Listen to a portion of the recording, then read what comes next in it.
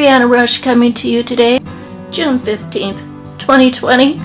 First thing I've done this morning is taken a class, a freebie challenge on selling my art online. I'm headed in to make myself some breakfast. Vegan cornbread with my little twist, some cranberries, pecans, all mixed up and ready to go into the oven. This Tucson Saguaro painting, client wants a print of it. I do hope I have a file big enough for this, otherwise I'm going to have to take another photo and it's already varnished, which could be a problem.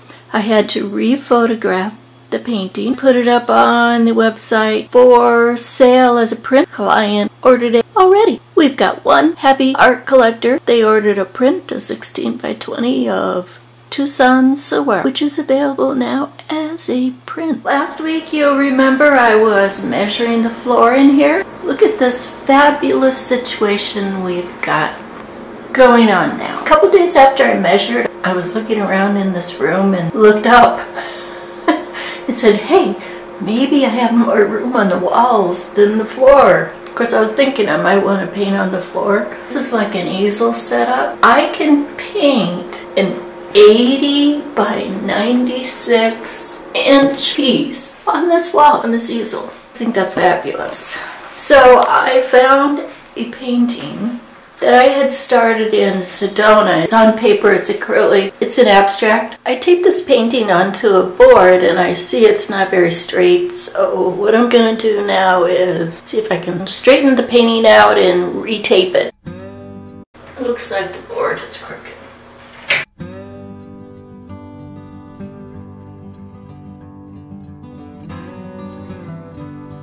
Does this look perfect? Delicious. Yum. With my trusty square.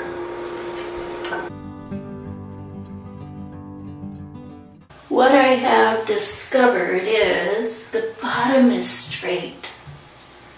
And I've straightened out this edge. My ruler is too short, so I'm gonna go get a different measuring tool. Measure from here to here. All right, I've got my handy dandy tape. Okay, it's 35 basically down here. So I'm gonna see what it is up here. It's crooked at the top.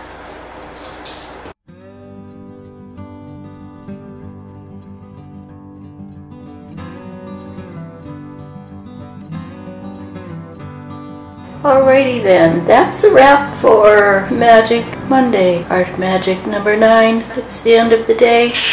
Sir Kitty's hungry. I'm hungry. I'm done.